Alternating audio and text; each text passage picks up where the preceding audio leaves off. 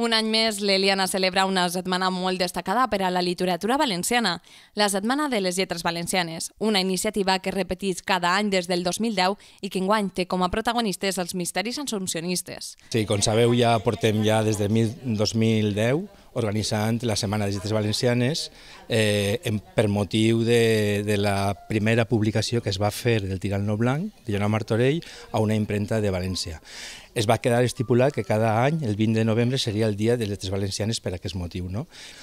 Eh, al, al llarg de la setmana, del 20, organitzem una sèrie d'actes i sempre acompanyem a l'escriptor de l'any que estipula o que promociona o que dona a conèixer l'Acadèmia la, Valenciana de la Llengua, es sumem a aquesta iniciativa i nosaltres fem actes al voltant de, del 20 de novembre. La, la inauguració de l'exposició que consta de 12 panells. El títol és eh, Els misteris assumpcionistes d'Elx, Castelló i, i, i València.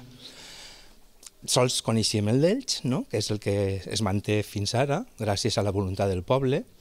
Eh, saps que se treballa molt la llengua, se treballa molt eh, la tradició, eh, se treballa el vestuari, és és un, un teatre medieval i la veritat és que després de sis segles eh, encara perdura en el temps gràcies a la voluntat del poble i això és de, de, de destacar. No? Així, el passat dilluns es va inaugurar aquesta nova edició amb una exposició que recorre els misteris de Castelló, València i Elx, però a més també hi va haver un espai per a la música. Pues són unes peces que, que hem composat sobre poesia en valencià, des d'Oceàs Marc fins a l'actualitat, i bueno, avui anem a fer només un tast, quatre peces, alguna d'elles d'un poeta d'ací del poble i va cantar les Neus i anem a fer això, una miqueta l'apartat musical d'esta estrena. Neus, conta'ns, què significa cantar poesia? És més complicat que cantar lletres normals? És, sobretot, depèn molt de la poesia, però hi ha algunes que, que costa de vegades no emocionar-se, o sigui, t'has d'emocionar mentre cantes, però, però que no s'escapa la llarmita per a poder seguir cantant. És, és, la veritat és que per a mi sí, per a mi és encara més, estar molt concentrat i estar molt en el que estàs.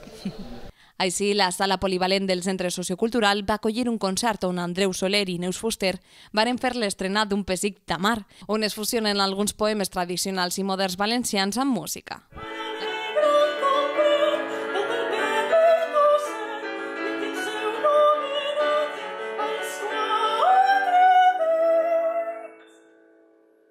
L'activitat continuava dimarts, dia de les lletres valencianes, amb la lectura pública de textos de diversos autors de totes les èpoques, amb una traducció molt acurada.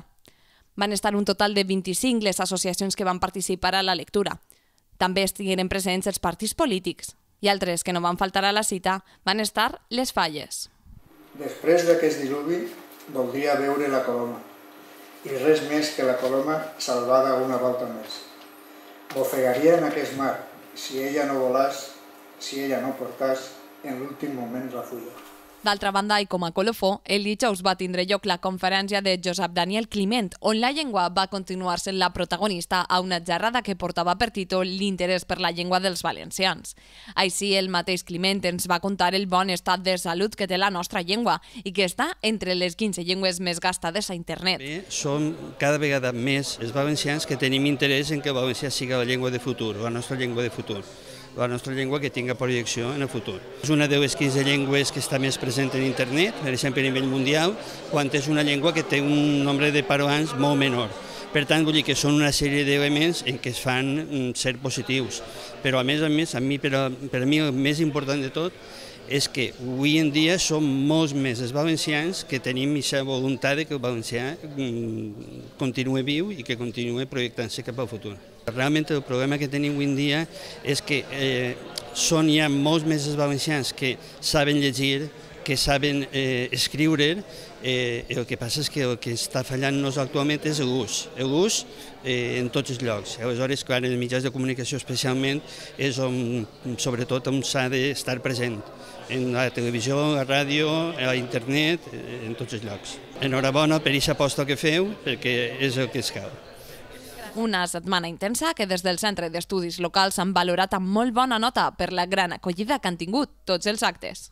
Si tingués que treure una nota, jo ficaria un notable alt, perquè el sobresalient tu saps que seria l'excel·lència i seria la perfecció, no? I tots ens ha agradat que, que haver tingut molta gent ha vingut molta gent i la veritat és que la resposta del ciutadà ha sigut molt positiva perquè teniu en compte que, que és gent, és entre setmana, la gent treballa, és a les de la vesprada i hi ha gent que li ve molt corregut vindre i tal, però la veritat és que molt bé, estem contents, estem molt satisfets i seria una valoració, ja t'he dit, un notable alt.